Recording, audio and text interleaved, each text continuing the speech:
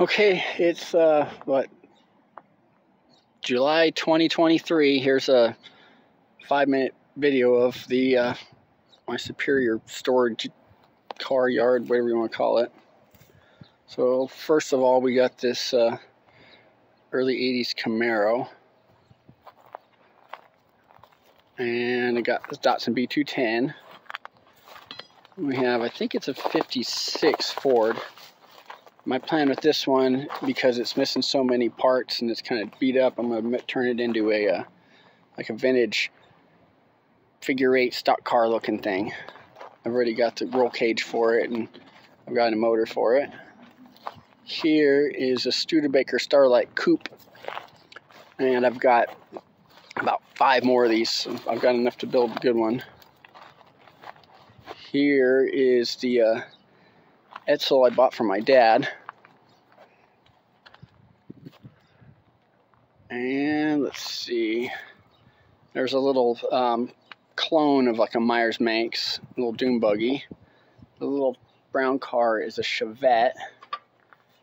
Behind that is a Volkswagen Thing. And my buddy Kevin rebuilt the motor for it, but I haven't done the rest of it, the wiring and all the crud I need to do for it. Here is a trash trailer. It's made out of the ass end of like a 50s Chevy truck. I figured it'd come in handy.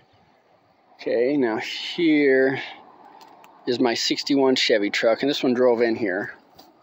And it still runs. I started it and moved it around the yard last week. There is an old right-hand drive uh, Austin Mini Cooper. And I haven't found another one to try to get enough parts to build it. There's a Plymouth Fury. Behind that is a flat fender Jeep, probably a, I think it's actually a 45. Um, my neighbors gave it to me because uh, we are trying to clean out their backyard. Okay, that's it. That's the storage yard or the superior yard.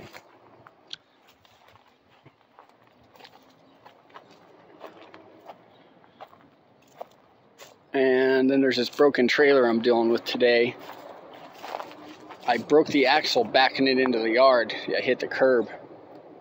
So I'm going to try to get it out of here. I'm going to try to fix it where it's at and take it to a friend's house and he'll cut it up and scrap it. All right. This is Superior. And if you look up, you can see the nice mountains. And that little thing back there is my guest house. All right. If you like this kind of stuff, like and subscribe. Bye.